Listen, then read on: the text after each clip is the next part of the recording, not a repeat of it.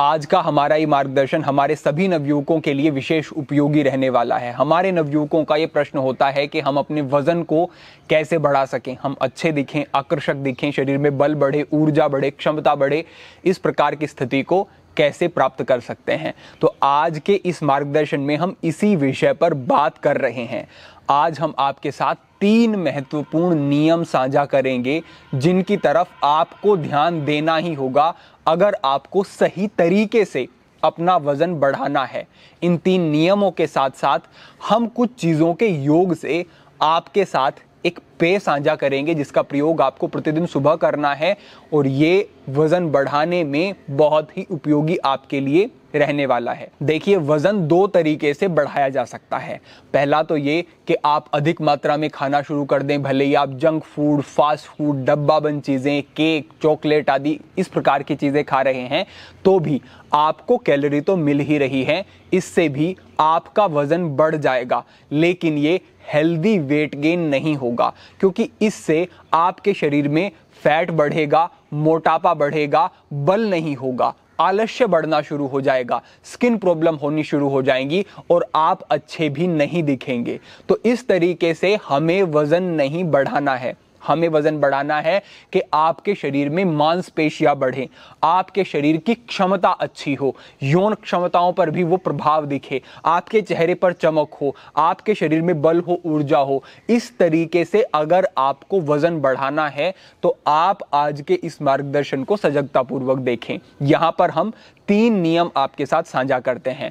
सबसे पहला नियम यह है कि आपको व्यायाम करना होगा निरंतर करना होगा। सप्ताह में छह दिन आपको व्यायाम करना है और एक दिन आपको रेस्ट करना है, जो कि आपकी मसल्स की रिकवरी के लिए बहुत ही ज़रूरी होगा।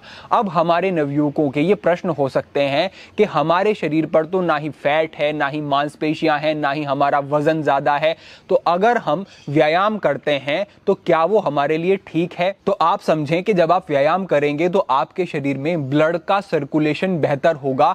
आपके शरीर के सभी अंग जो हैं, वो तरीके से काम कर पाएँगे। साथ ही साथ आपके जो पेट के अंग हैं आपकी इंटेस्टाइन है, आपका लीवर है, आपकी पेनक्रियाज है स्टमक है, इन सभी अंगों की एक मसाज हो जाती है, जिससे कि इन अंगों की कार्य प्रणाली सुधरनी शुरू हो जाती है, मज़बूत होनी शुरू हो जाती है और आपको भूख अच्छे से लगनी शुरू हो जाती है। कॉन्स्टिपेशन की समस्या रहती है, उससे आपको राहत मिलती है।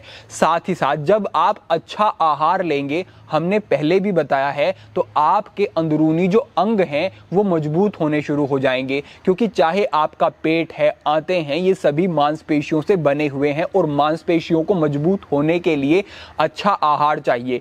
आप व्यायाम के साथ साथ अच्छा आहार लेंगे तो आपके पाचन तंत्र की जो मांसपेशियाँ हैं, वो मज़बूत होंगी, आपको भूख अच्छे से लगेगी, जठराग्नि आपकी बढ़ जाएगी और आप जो भोजन करेंगे, वो आपके शरीर में लगेगा। तो आपको व्यायाम निश्चित रूप से करना है।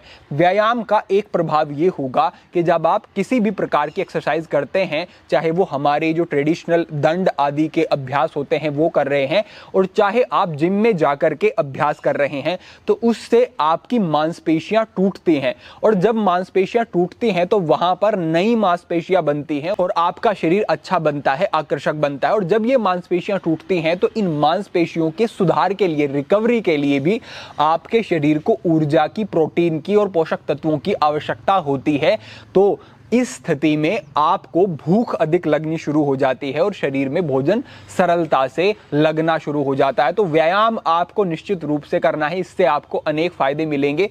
पहली बात ये हुई। दूसरे स्थान पर आप समझें कि आपको ब्रह्मचर्य का पालन करना है। आप ब्रह्मचर्य का पालन नहीं करेंगे, भले ही फिर आप अच्छा आहार ले रहे हैं, अच्छे पोषक तत्व ले रहे हैं, उस प्रकार के लाभ आपको नहीं मिल पाएँगे। तेज़ी से लाभ चाहिए, अच्छे लाभ चाहिए और ऐसे लाभ चाहिए जो कि निरंतर स्थायी रूप से आपके साथ रहें। आपका शरीर एक बार बने तो फिर गिरे नहीं तो ऐसी स्थिति में ब्रह्मचर्य का पालन करें। ब्रह्मचर्य का पालन करेंगे तो टेस्टोस्टेरॉन लेवल आपका बढ़ेगा और जितना टेस्टोस्टेरॉन लेवल बेहतर होगा, उतनी ही शरीर में ऊर्जा होगी, क्षमता होगी स्ट्रेंथ बढ़ेगी और आपकी मांसपेशियाँ भी अच्छे से डेवलप हो पाएँगी, बन पाएँगी, क्योंकि टेस्टोस्टेरोन का आपकी मांसपेशियों के निर्माण में एक विशेष कार्य होता है, विशेष भूमिका होती है।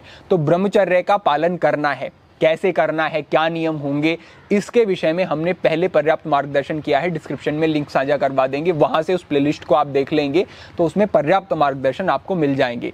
दूसरा हमारा नियम हुआ, तीसरे स्थान पर आपको नींद को बेहतर बनाना है। हमारा कहने का अर्थ ये नहीं है कि आप अधिक सोएँ, दिन में भी सोते रहें। हमारे कहने का अर्थ है कि आप जितनी देर सो रहे हैं, उसमें आपकी नींद की गुणवत्ता अच्छी हो। नींद की गुणवत्ता को कैसे बढ़ाना है इसके विषय में हमने सनातन हठयोग चैनल पर अलग से मार्गदर्शन किया है। उसका लिंक भी हम नीचे साझा करवा देंगे डिस्क्रिप्शन में, वहाँ से जाकर के देख लें। आपको अच्छे लाभ प्राप्त होंगे। आप अच्छे से सोएँगे नहीं तो फिर से हम वही कहेंगे कि रिकवरी शरीर की नहीं होगी।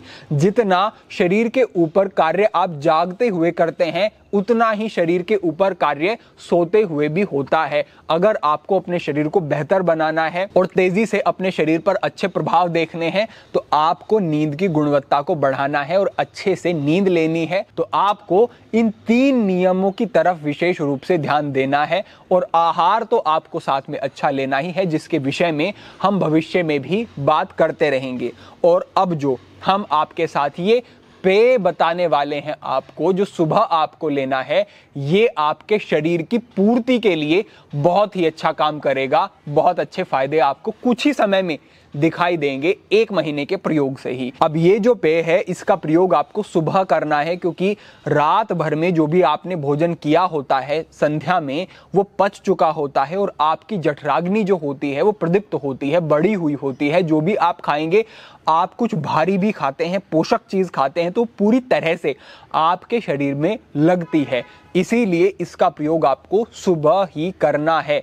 पहली वस्तु के रूप में। अब आप समझें कि इस पेय का निर्माण आपको कैसे करना है। आपको दो अंजीर ले लेने हैं, चार बादाम ले लेने हैं और आपको दस मुनक्के ले लेने हैं। इनको आपको रात्रि में पानी में भिगो देना है। सुबह उठ करके आपको बादाम का छिलका उतार लेना है। साथ ही साथ आपको 16 ग्राम की मात्रा में मूंगफली, भुनी हुई मूंगफली लेनी है और एक चम्मच की मात्रा में आपको चिया सीड ले लेने हैं। मूंगफली में आपको गुड फैट मिलेंगे प्रोटीन का अच्छा सोर्स है। अंजीर, शरीर में बल का वर्धन करने के लिए एक अच्छी उपयोगी वस्तु है, आयुर्वेद में इसका विशेष वर्णन प्राप्त होता है। साथ ही साथ ये कॉन्स्टिपेशन की समस्या में भी अच्छा कार्य करता है बाउल मूवमेंट को अच्छा करता है, विशेष उपयोगी है। बादाम, शरीर में बल वर्धन करने के लिए ये बहुत ही उपयोगी वस्तु है। प्राचीन समय से ही भारतवर्ष में इसका प्रयोग होता रहा है। आज के समय में वे प्रोटीन अन्य वस्तुएँ हैं। अन्यथा, प्राचीन समय में हमारे पहलवान और जो शारीरिक बल का अधिक कार्य करने वाले व्यक्ति होते, वो बादाम को रगड़ करके गोट करके इसका ही प्रयोग किया करते थे और उनके शरीर में इससे विशेष बलवर्धन होता था। तो यहाँ पर आपको जो बादाम का प्रयोग करना है, ये भी विशेष उपयोगी है, चिया सीड।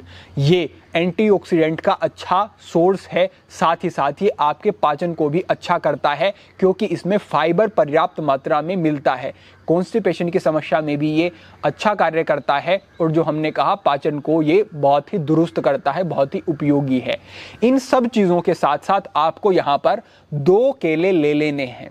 अब इन सारी चीज़ों को आपको एक स्थान पर एकत्रित कर लेना है और इसमें जो अन्य तीन चीज़ों का आपको प्रयोग करना है, इन तीनों में से किसी एक चीज़ का आप प्रयोग कर सकते हैं, वो हम आपको कहते हैं। पहले स्थान पर आप दूध ले सकते हैं, दूसरे स्थान पर आप एक कटोरी दही ले सकते हैं और इसमें थोड़ा सा आप पानी डाल सकते हैं जिससे कि ये आपके पास एक अच्छा शेक के जैसा प्राप्त हो जाए। और तीसरे स्थान पर आप कोकोनट वाटर का प्रयोग कर सकते हैं। एक गिलास की मात्रा में इन तीनों में से किसी भी चीज़ का आप इन वस्तुओं के साथ प्रयोग करते हैं तो ये उपयोगी है। अब आप देखें कि आपके पास किस चीज़ की उपलब्धता है और अगर आप लेक्टोज इंटॉलरेंट हैं तो फिर आप कोकोनट वाटर का प्रयोग कर सकते हैं। इसलिए हमने ये विकल्प भी आपको कहा है यहाँ पर। तो इनमें से किसी भी एक चीज़ को ले लेना है, इन सब चीज़ों के साथ में मिला लेना है और आपको इन चीज़ों को ग्राइंड कर लेना है मिक्सी के जार में डाल करके।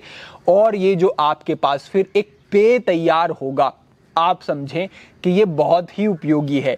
ये जितनी चीज़ें हमने आपको यहाँ पर कही हैं, ये विशेष योग है।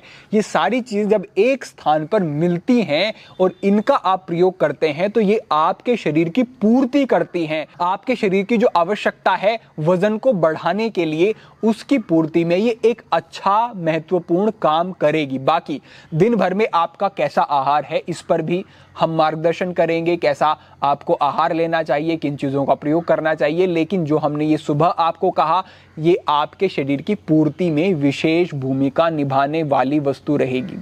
अपेक्षा है ये सारी चीज़ें आपको समझ में आ गई होंगी और ये भी आप समझ लें कि पीछे बताए गए जो तीन नियम हैं, उनका अगर आप पालन नहीं करते हैं तो फिर ये चीज़ें उतनी उपयोगी आपके लिए नहीं रहेंगी। अगर आप व्यायाम ठीक से नहीं करते हैं, ब्रह्मचर्य का पालन नहीं कर रहे हैं, आप खा अच्छे से रहे हैं, लेकिन ब्रह्मचर्य का पालन करना परम उपयोगी है, अगर ये नहीं करते हैं तो उतने लाभ नहीं मिलेंगे। और आपको रेस्ट भी ज़रूरी ही चाहिए। तो आपको इन नियमों को अपने जीवन में धारण करना है, साथ ही साथ इस वस्तु का प्रयोग करना है तो बहुत अच्छे लाभ आपको प्राप्त होंगे। तो आज के लिए, आपके लिए हमारा यही मार्गदर्शन था। भविष्य में अन्य महत्वपूर्ण विषयों पर मार्गदर्शन होता रहेगा। सभी के लिए प्रार्थना, सभी के लिए मंगल कामना। आज के लिए इतना ही। ओम नमः शिवाय।